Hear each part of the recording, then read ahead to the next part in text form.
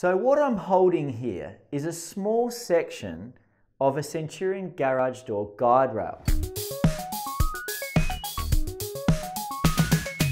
This is the guide rail that your garage door slides up and down in.